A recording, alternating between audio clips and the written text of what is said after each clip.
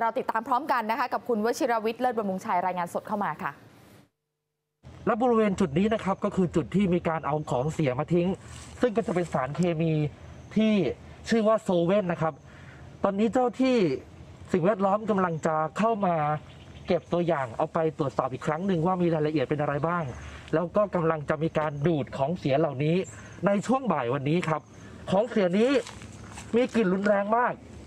เออ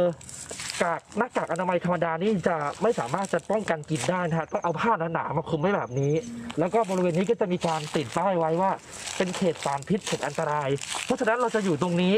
ไม่นานนะครับ เราจะต้องรีบออกไปเราอยู่ได้ไม่นานเพราะว่าเดี๋ยวจะส่งผลกระทบต่อสุขภาพนะครับ หลังการดูดออกไปแล้วเนี่ย เจ้าหน้าที่บอกว่าก็จะเอาปูนขาวที่เห็นเนี่ยครับโรยลงไปในพื้นที่ เราได้มีการพูดคุยกับชาวบ้านที่อยู่บริเวณนี้นะครับ ที่อยู่บริเวณใต้ลมห่างออกไปไม่ถึงร้อยเมตร ชาวบ้านบอกว่าเห็นคนมาทิ้งนี่เป็นอาทิตย์แล้วนะครับ แล้วก็ได้รับความผลกระทบ เพราะว่าได้ได้รับกลิ่นเหม็น แล้วก็มีอาการขึ้นไส้เวียนหัว เราไปฟังชาวบ้านพูดถึงผลกระทบเหล่านี้ครับ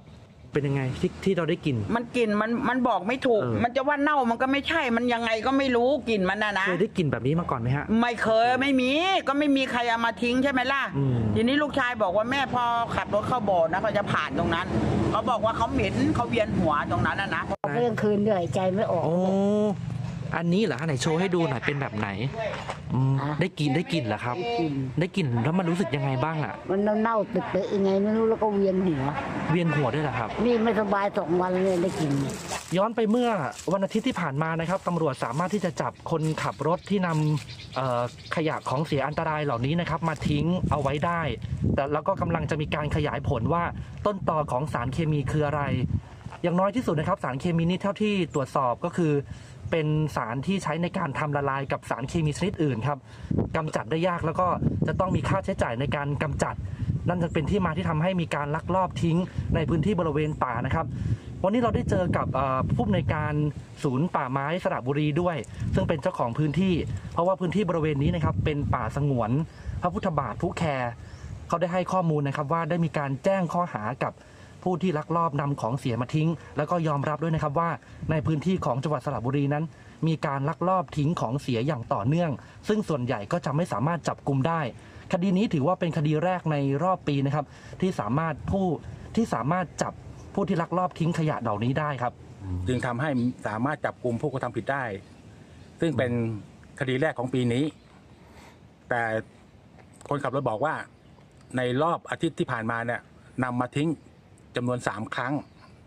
ครั้งละสามพันลิตร อยู่จุดเดียวกันนี่ครับ แล้วก็วันนี้สิ่งแวดล้อมภาคเจ็ดอะ จะมาเก็บตัวอย่าง